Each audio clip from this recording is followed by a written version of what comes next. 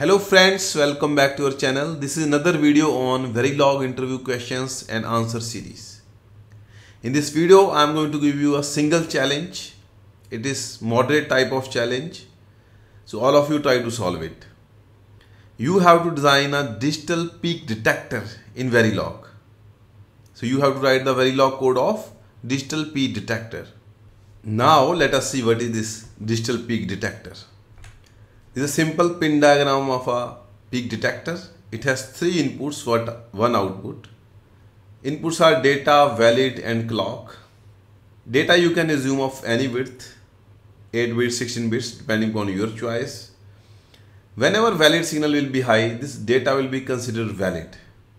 And output should detect the peak. For example, first time it detects the maximum value of data as 7. But later on in another clock cycle, let us say data came 10. So then it should replace that 7 with 10. And later on, if it detects the value 23, then it should replace it with 23 and so on. But maximum values should be considered only when valid signal is high. So whenever valid is 0, we should not consider this data because that is raw data or useless data. That should not be considered while the peak detection. I think the problem statement is clear to you. Now you can pause my video here.